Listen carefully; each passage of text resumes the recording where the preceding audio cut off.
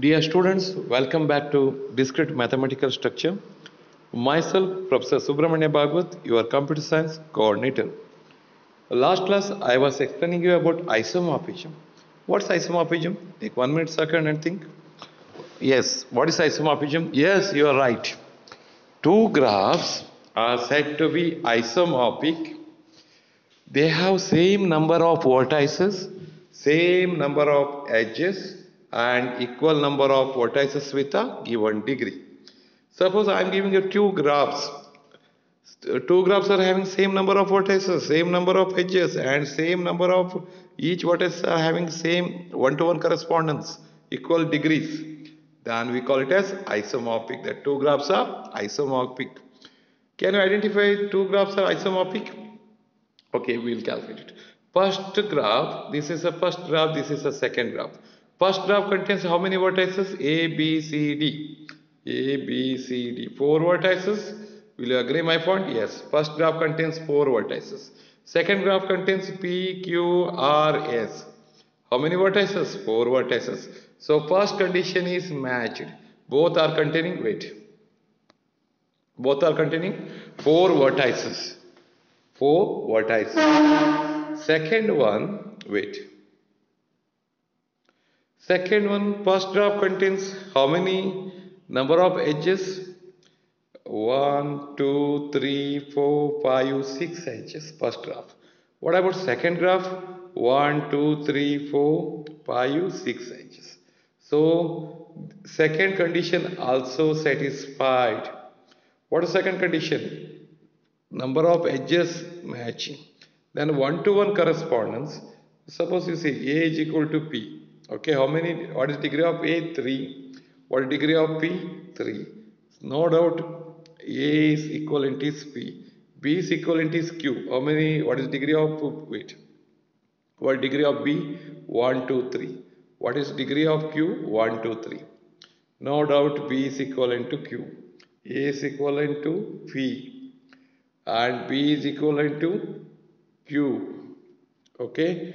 So D is equivalent to S because what is the degree of D? 3. Degree of S is 3.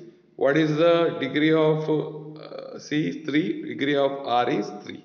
No doubt this okay isomorphic. Well, the other things same like okay A is equal to P we have understood. A wait. A is equal to P, B equal to Q, C equal to R, D is S we understood. AB this AB is equal to PQ. Am I correct? Then AD equivalent to PS. AD equivalent to PS. Then DC equivalent to SR. DC equivalent to SR. Or QR equivalent to BC. Then AC equivalent to PR. Or BD equivalent to QS. BD equivalent to QS. So one to one correspondence is there. So no doubt two graphs are isomorphic. Prove the following two graphs are isomorphic. Observe this very carefully. First condition, how many number of vertices are there in first graph? 4. How many number of vertices are there in second graph? 4. So first condition is mapped. First condition is satisfying. Second condition, how many number of edges? 1, 2, 3, 4. Uh, second graph, what is the edges? 1, 2, 3, 4. So first, second graph, 4 vertices. First graph, 4 vertices. First graph, 4 edges. Second graph, 4 edges. Uh, one to one correspondence. V1 is equal to V1 where V1 to V2 edges there. So V2 is equal to V4 and V4 is equal to V2, V3 equal to V3. That's all. So object is yeah V1 to U1, V2 to V4 to U2, V3 to U3 and V4 to V2. So one to one correspondence is uh, U1 to V1, U1 to U2 is equal to U1 to U2. Please carefully observe that U1 to U2 is equal to okay here V1 to V4, V1 to V4. Yeah. Second one U1 to U3 is equal to V1 to V3. U1 to U3 is equal to V1 to V3. Then U U3 to yeah U3 to U4 is equal to U3 to V, V3 to V2. Uh, V4 to V2. And U3 to V4 is equal to U, U3 to u4 is equal to okay uh, this one. Okay v2 to v4 equal to u2 to u4 so one to one correspondence we are achieving. So no doubt two graphs are isomorphic. Second one okay wait. Wait for a second so that concept will be very clear to you. Observe that two graphs are isomorphic. It's very simple okay i have clearly given you okay first object that how many number of vertices are there? 1 2 3 4 5 6 7 8 here second graph 1 2 3 4 5 6 7 8 so 8 vertices. What are the edges? 1 2 3 4 5 6 7 8 9 10 11 12 edges. If you observe here 1 2 3 4 5 6 7 8 9 10 11 12 12 edges so degree is also same. So one to one correspondence is the first one. Number of vertices matching, number of edges matching, and one to one correspondence is the. So no doubt two graphs are isomorphic. Why A is equal to A dash, B is equal to B dash, C equal to C, uh, C dash, D equal to D dash. Like this way, easily you can see two graphs are isomorphic. Next one, show that the following two graphs are isomorphic. Uh, it's very easy. First one, how many number of vertices? Observe that very carefully. How many number of vertices are there? Uh, U1, U2, U3. Am I right? U, uh, then U4, U5, U6, 6 vertices. Second graph, V1, V2, V3, V4, V5, V6, 6 vertices. How many edges are there? Observe that carefully. So that, okay, number of edges are matching. So one to one correspondence is uh, very important here u1 is equal to v1 no doubt. Then u2 is equal to okay u2 is equal to v4 you make it. So that wait. So that concept will be very clear to you. U1 is equal to u1 is equal to v1 no doubt okay? U1 is v1 then uh, if you observe that yeah u1 to u6 edges u1 to u6 edges so you have to write, okay, here V1 to V6 edges. So U6 equal to V6, no doubt U6 equal to V6. Next one, observe that V1 to V3 edges. V1 to V3 edges, okay, while, okay, U1 to U5 edges. So U5 equal to V3. U5 equal to V3. Next one is remaining. Okay. V1 to V2 edge is the U1 to V4 is the. So U4 is equal to V2. U4 is equal to V2. Like that way you have to make one to one correspondence. It's a very clear. First write the edges.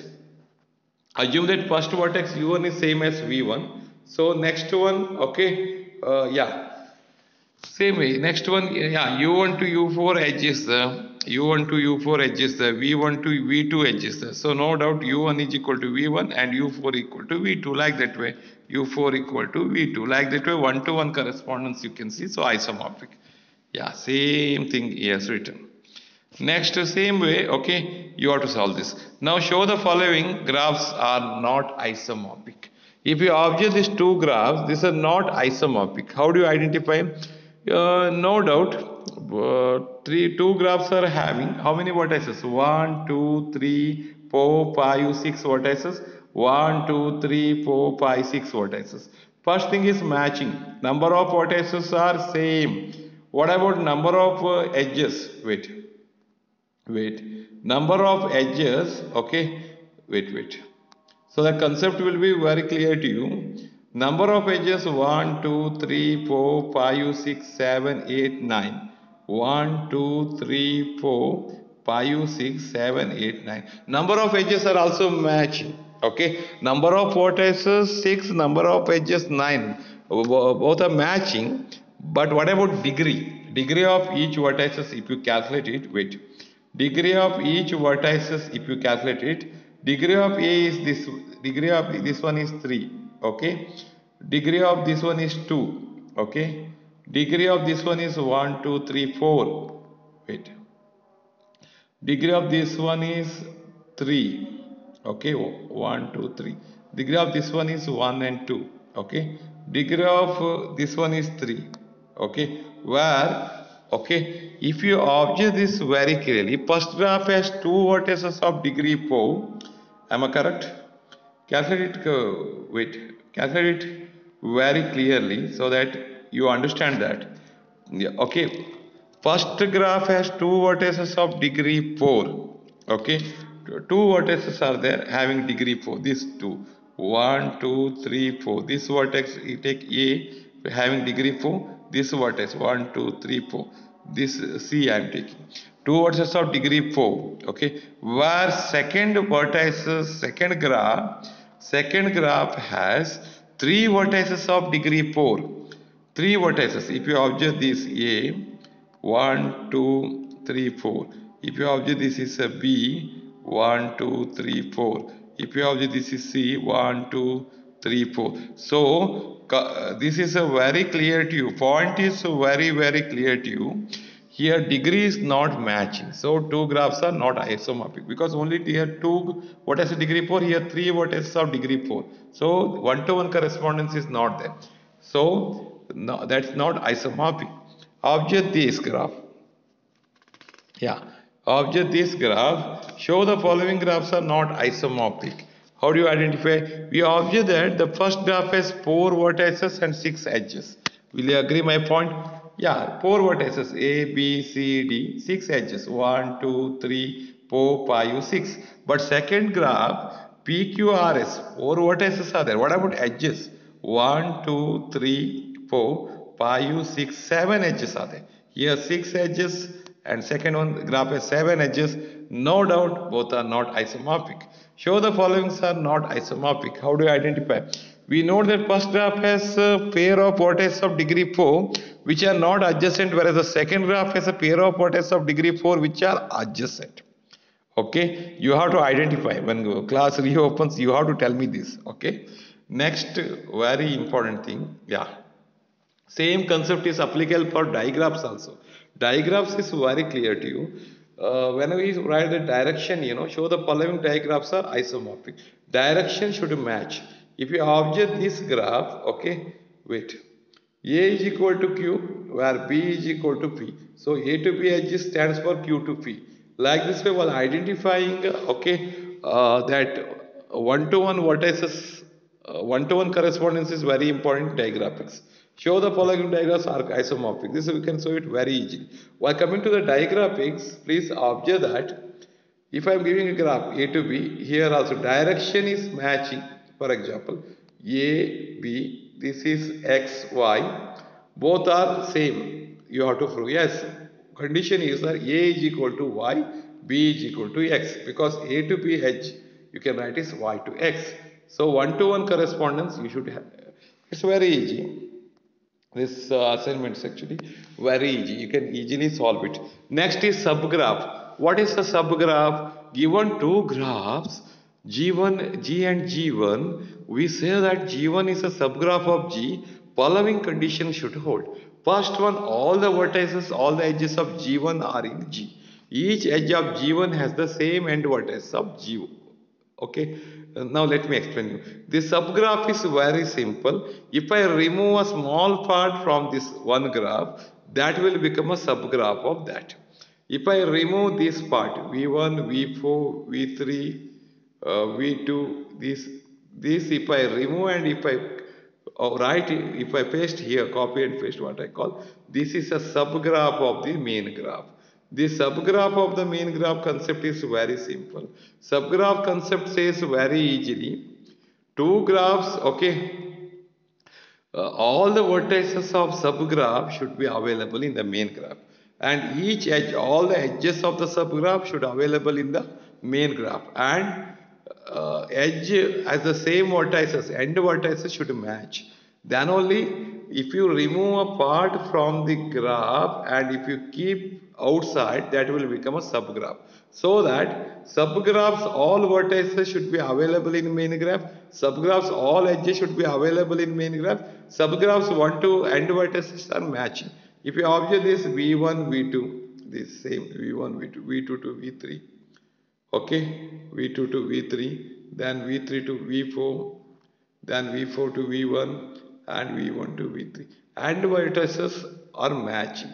That is the very important thing. What is a spanning subgraph? Subgraph is clear to you. If you take a part from the graph that graph will become subgraph of that graph. Each graph is a subgraph of itself because subgraphs all vertices should be available in main graph subgraphs all edges should be available in main graph and one to end vertices should match spanning subgraph is simple spanning subgraph is subgraph of G1 of a graph G spanning subgraph of G whenever the vertex set of G1 contains all the vertices of G. Main graphs all the vertices available in subgraph then it is called spanning subgraph. Then it is called spanning subgraph. Main graphs all the vertices means what I say you know whenever the vertex set G1 contains all the vertices of G.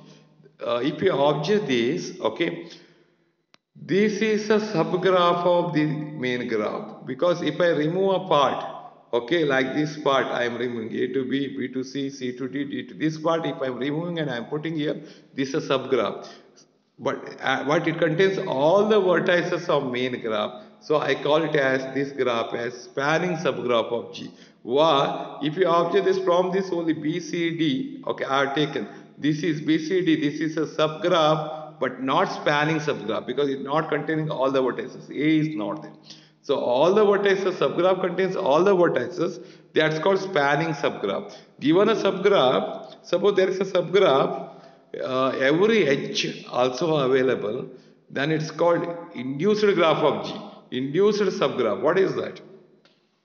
Suppose there is a subgraph such that every, okay, please try to understand that, okay, uh, what is a graph is, uh, subgraph is clear to you, uh, spanning subgraph is clear to you, induced subgraph. Given a graph, suppose there is a subgraph, uh, so that every edge a, AB of G, where AB belongs to vertex 1, edge of G1 also, then G1 is called induced subgraph. One example through I tell you, so the concept will be very very very clear to you. For example for the graph shown uh, in this figure if you observe that uh, what happens you know uh, the graph shown in uh, b this graph okay is an induced subgraph induced by the set of vertices v1 v1 v1 v2 v3 v5 if i take these vertices outside that all the edges associated to that should be available in our subgraph.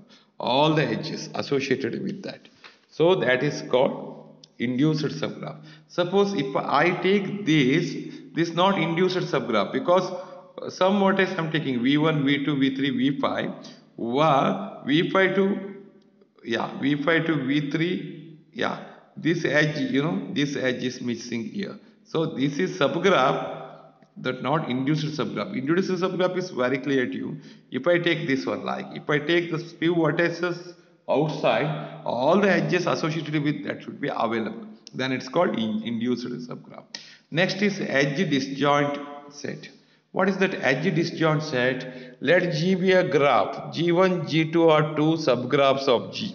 Then G1, G2 are said to be edge disjoint if they don't have any common edge. If they don't have any common edge, G1, G2 are said to be edge disjoint. G1, G2 are said to be vertex disjoint if they don't have any common edge and common vertex. If you observe this, you know, it is to be noticed that edge disjoint subgraphs may have common vertices. Subgraphs have no vertices in common, cannot possibly have edges in common.